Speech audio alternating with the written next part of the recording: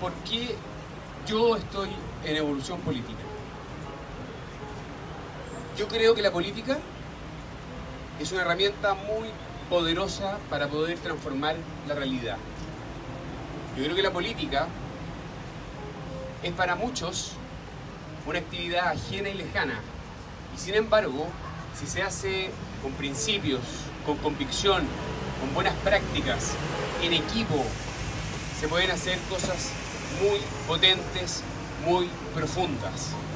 Soy parte de Evolución Política porque creo en la libertad, porque creo en la justicia y porque creo en la inclusión.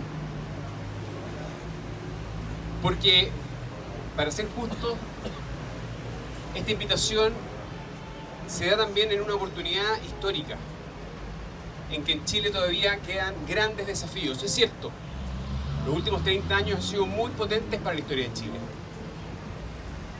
En términos de haber recuperado la libertad política y la democracia, un desarrollo económico que permitió la reducción de la pobreza, grandes avances sociales y económicos. Sin embargo, para muchos Chile sigue siendo un país injusto.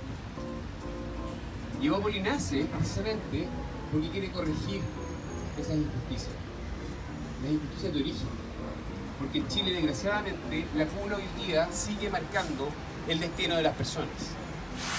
Y esa es probablemente la invitación que muchos tuvimos y sentimos como una tremenda oportunidad para iniciar un partido nuevo que al principio parecía una locura frente a un sector que tenía dos partidos grandes, tradicionales, con mucha historia, pero sabíamos que había un espacio.